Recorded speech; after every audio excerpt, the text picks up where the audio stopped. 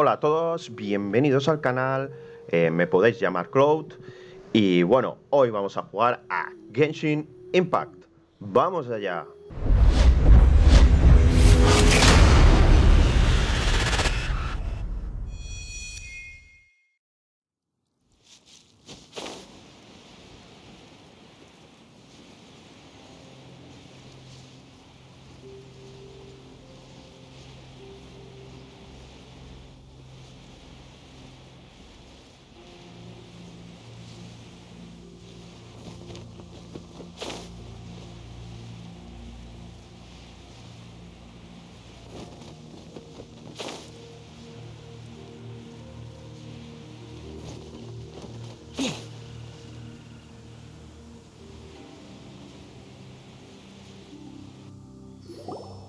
なんてことだ。神よ僕は夢でも見ているのか？あれほど巨大な石を持ち上げるなんて彼女こそ伝説に歌われる仙人に違いありません。仙人様どうか来年の収入が上がりますように。体積品質ともに最上級。保存状態も非常に素晴らしいですねこのレベルであれば申し分ありません。この名家不条石には満点をつけても問題ないでしょう。我の名は重要ではない。これの競い合いに参加しているわけではないからな。我はこの石の運搬を頼まれただけ。依頼主はもうすぐ来るはずだ神格おそれと行幸の手下も。なんとあなたたちでしたか。これほどの浮上の石を見つけたのも納得できます。しかし一つ訂正させてください。私は手下ではなく秘書です。ひひ秘書のお姉さん。この石はオイラたちみんなで見つけたんだ。どうだ？すごいだろう。正直なところこれまでに届いた浮上の石の中で最上級の品質です。予想外のことが起こらない限りこの石を土台にして軍玉閣の再建は進められると思います。今日はお疲れでしょう。行幸様がこの近くで民宿を借りています。お休みになりたい方はそこに泊まっていただいて構わないとのことです。それでは私は先に失礼します。ご覧の通りまだやることが山積みですので。神格さっきここに到着した時みんな神格のことを尊敬の眼差しで見てたぞ。そうなのか？反応が薄いな。こういう時はもっと喜ぶもんだぞ。もしオイラが誰かに「パイもすごい!」って褒められたら胸を張りながらニヤニヤしてるぞ。以前我も似たような称賛を浴びたことがある。その者たちは我を仙人と呼びまるで遠い存在であるかのように敬意を払いながら接してきた。でも仙人ってみんなそんな感じだろ？オイラたちがこれまでに会ってきた仙人もみんな浮世離れしてて普通の人間とは違ってたぞ。しかし我はそうでは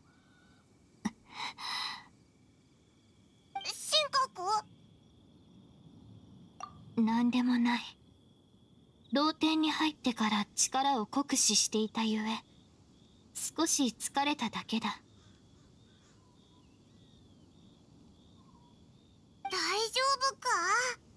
あそういえば百分が言ってたよな。近くの民宿を借りてあるって。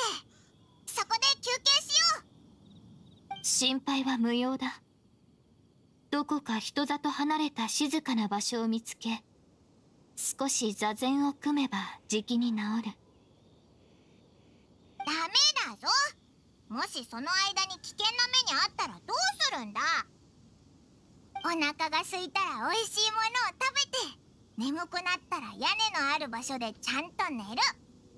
無理をするのは良くないぞ。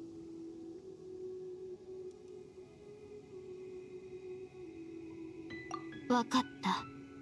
覚えておこう。あう。そうと決まれば早速神格を民宿に連れて行こう。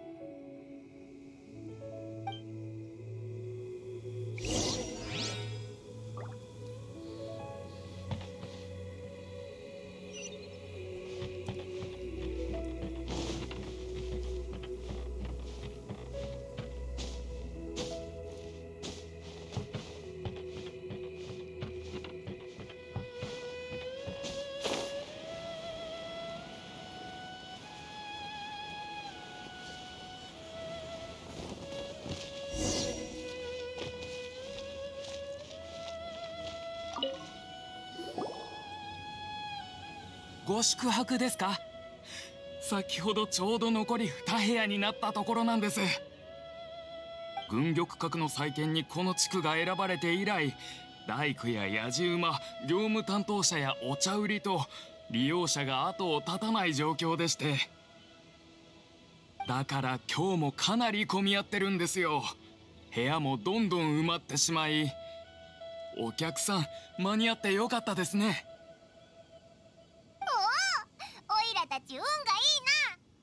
片方はまだ部屋の掃除中でしておそらく30分ほどしたらご案内できるかと思います。もう一つの部屋は扉を左に曲がったところにあります。どうぞ客室の鍵です。皆さんごゆっくりお休みください。それでは。それじゃあ神格が先に部屋を使ってくれ。おいらたちは外で部屋の掃除が終わるのを待ってるから。ついでに美味しい食べ物がないか見てこようぜ。さっき大きなチキンを持ってるお客さんがいたぞ。後で神格にも夜食用に買ってきてやるよ明日の朝ごはんにしてもいいしな。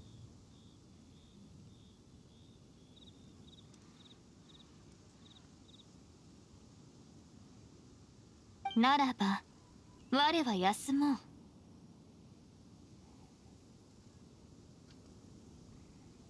何かあったらいつでも呼べ。我の眠りは浅い。戸を叩くだけですぐに起きよう。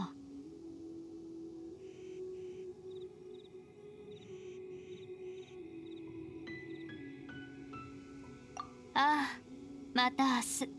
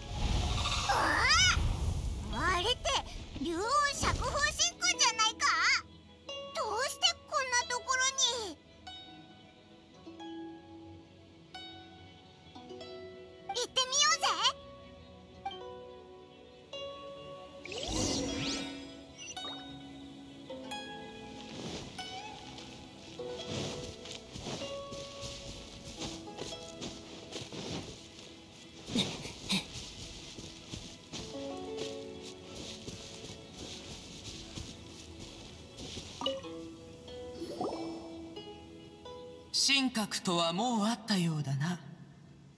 どうだ？あの子とは仲良くやれておるか？もちろんだぞ。り竜雲釈放神君も神格のことを知っているのか？それは当然。リーユエ港で長年生活する関羽を除けば生き残っている仙人たちは多かれ少なかれ神格と関わりがある。そうだったのか。なあ神格の鮮明って何なんだ？神格って呼んだ方が親しみがあるけどやっぱり罰当たりな気もするしきっと鮮明で呼んだ方がいいんだよな。鮮明。なぜ神格が鮮明を持っていると？え？仙人ってみんなすごそうな称号を持ってるんじゃないのか？その通りだがしかし神格は人間だぞ。ああなんだそうだったのか。ってうえ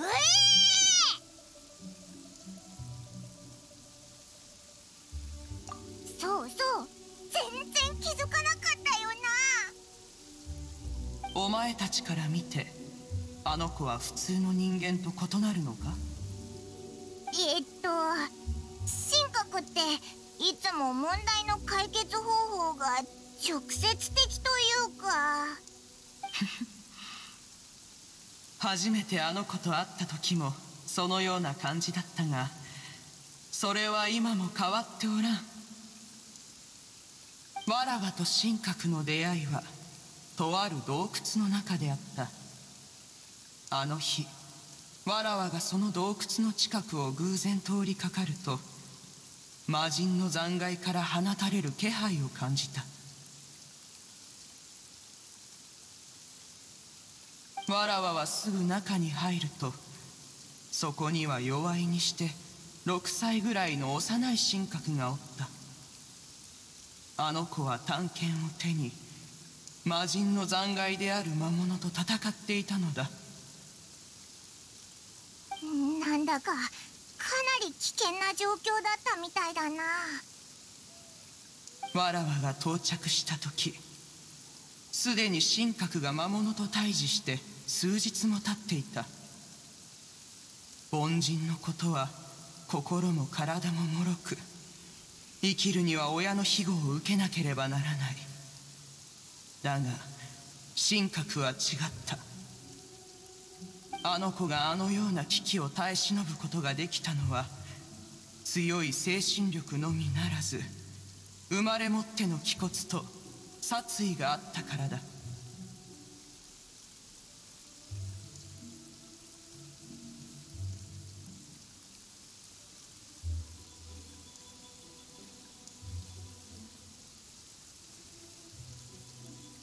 わらわがその魔物を仕留めた後もあの子は気を緩めることなくわらわにまで刃を向けてきた。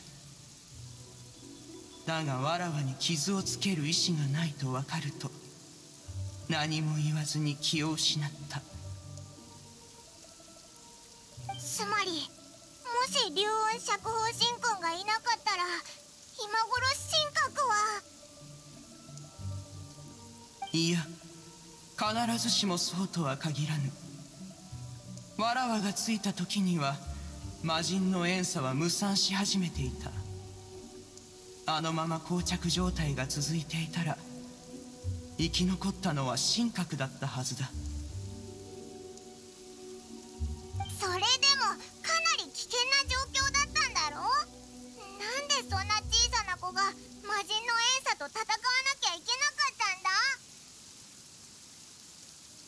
神格はこの世のあらゆる苦難や試練の片鱗を味わったのだろう。そしてわらわは行くあてのない神格を引き取ったのだ。おそらくわらわのことだろう。神格の体質は特別なもので戦術の修行に適しておった。わらわと他の仙人たちはその見事な際に可能性を見出し技を伝授することにしたのだ。しかし子供の頃より放たれていた殺意は年を重ねても消えることなくむしろ日を追うごとに増していった。ある日昨月畜養神君があの子を占ったことがあった。神格は孤独であだなす者その身には邪気が宿り友人や家族に災いをもたらすことがままあると出た。矜持の兆しであったため赤紐で魂に枷を加え殺意を抑制させたのだ。赤紐で縛られたことで神格はだいぶ落ち着くようになった。表情も和らいだが代わりに少し朴突としてしまってな。赤紐の力が強すぎたゆえに他の感情をも抑え込んでしまったのだろう。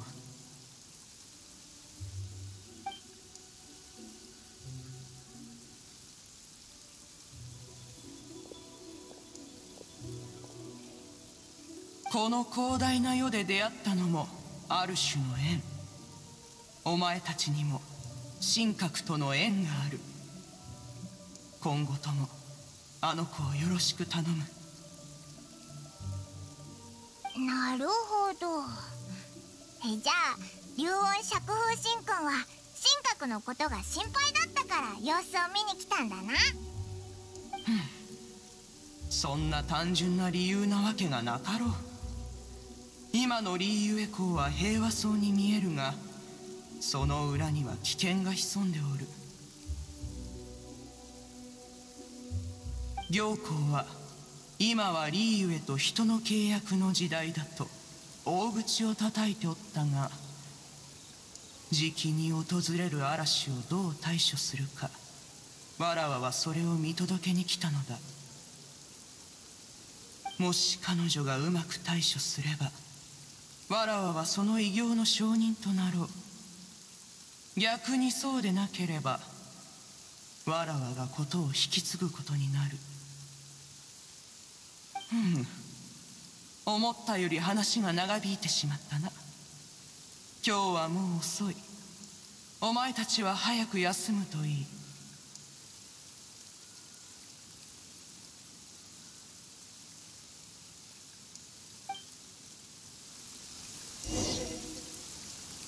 神格は仙人じゃなくて仙人に育てられた人間だったんだな。だから仙人扱いされると困ってたのか。他人から必要以上に敬意を払われたら逆に気を使っちゃうもんな。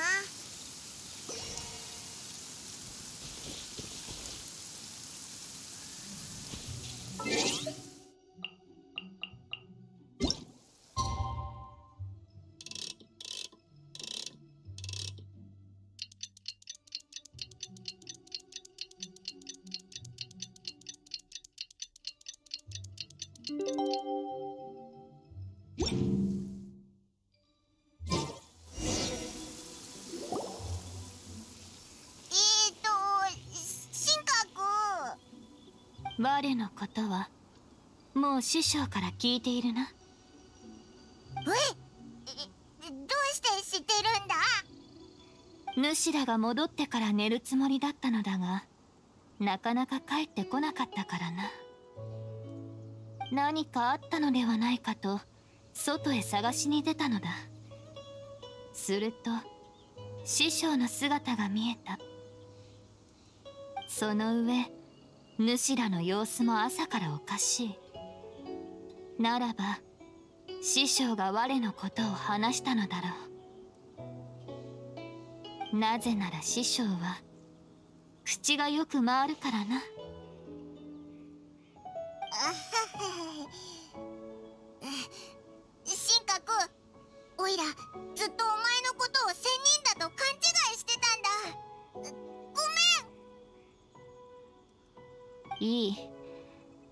気になどしていない。それにこれまで説明してこなかった我の責任でもある。ただ過去の経験を思うと説明しても徒労に終わると思ってしまったのだ。しかし主らは我を仙人だと思いながらも遠ざけるのではなく友人として接してくれた。これには我も感謝している。たち本物の仙人ともたくさん会ってきたからな。じゃあこれからオイラたちは親友だ。仙人とか人間とかそんなの関係ない。普通に仲良くしようぜ。承知した。何をしたらいいかはわからぬが親友という響きは我も嫌いではない。おう。じゃあ十分休憩もできたし残りの2つの素材を探しに行こうぜ。でもその前に建設場所で行幸の手下に進捗を聞いてみよう。名家不条石を探すのはあんなに難しかったんだ。手に入れることができた人は少ないと思う。相手が早々に諦めてくれてたら焦る必要もなくなるしな。そうだ進学。昨日民宿へ戻る前にチキンを買っておいたんだ。ほら一つやるよ。すっごく美味しいぞ。確かに。風味が豊かで我が山中で焼いていたものよりはるかに美味だ。